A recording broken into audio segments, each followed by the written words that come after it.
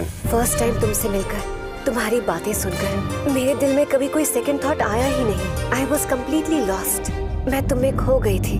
I love गजलों की तरह पढ़ने लगा हूँ। मैं अब तेरे चेहरे को। क्यों है? अब तुम लगते